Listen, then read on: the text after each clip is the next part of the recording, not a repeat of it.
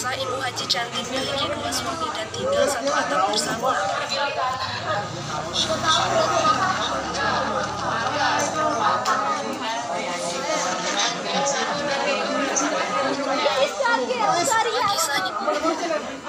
Kisah mengejutkan banyak orang terjadi di sebuah kampung di Indonesia.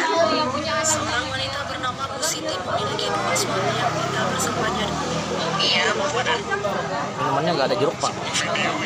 Ya kan? Jeruk sama air mineral nggak ada kit tadi. Oh iya. Iya. Pasalnya pria itu mengalami kejadian terduga saat sedang bersantai. Tangannya diunggah oleh akun TikTok Alamat Rifani underscore 13 terdapat seorang pria berjaket hijau mengambil tepung perannya di sebuah kedai.